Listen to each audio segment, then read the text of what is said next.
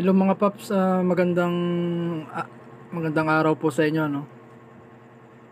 Ito eh ano, ah, i-review ko lang sa inyo itong ano, i-review ko lang tong itong gaming application ano na si Big Bang. Ah Nako, itong laro na to eh, wag niyo wag niyo na pong laruin. Napakalaking keke nakikita ka daw ng pera mga paps kasi ano, sayang lang yung oras nyo dito sa larong to. Kasi napakalaking kalokohan mga paps.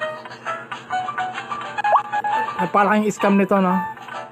Ito yung example niya no? Yan maglalaro ka oh. Ayan. Napakalaking kalokohan nito mga paps. Tapos ang sabi wala daw application wala daw ads wala daw ads no kasi laruin natin, oh. Excellent! Excellent! Excellent! Wala daw siyang ads. Uh, ganyan mo lang siya mga paps.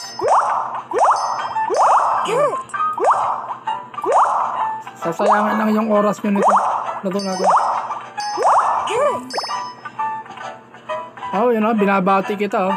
Kukolektahin ko daw. Ah, paps oh. Ayan, may mga may ads na agad mga paps, may ads. Ano, bali nagtatamasa ng ano, ng malaking kita ang application na to.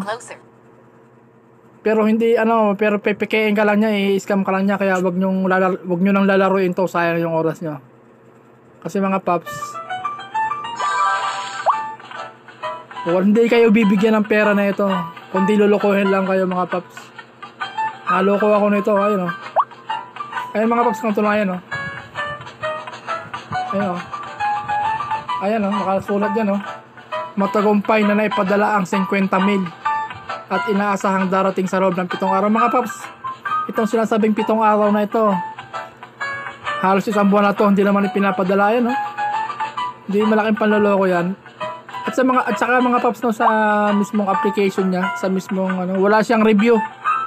Wala siyang review. Kaya talagang ano, sayang lang yung ang oras niyo. Huwag niyo nang lalaruin tong Big Bang na to.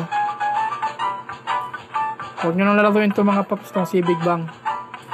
Sayang lang yung oras niyo diyan.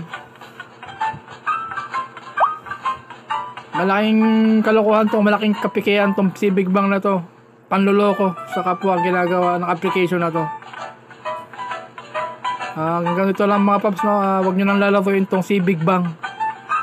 Napakalaking kalokohan. Ah, maraming maraming salamat mga paps.